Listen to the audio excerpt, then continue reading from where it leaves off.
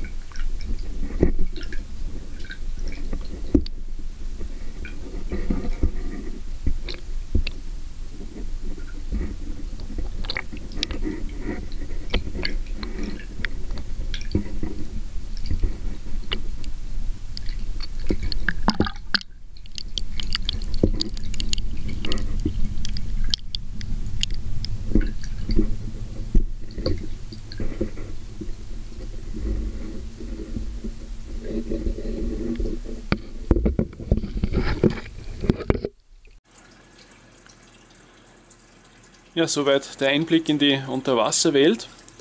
Ich finde es wirklich praktisch, mit so einer Kamera von Zeit zu Zeit einmal nach dem Rechten zu sehen im Teich.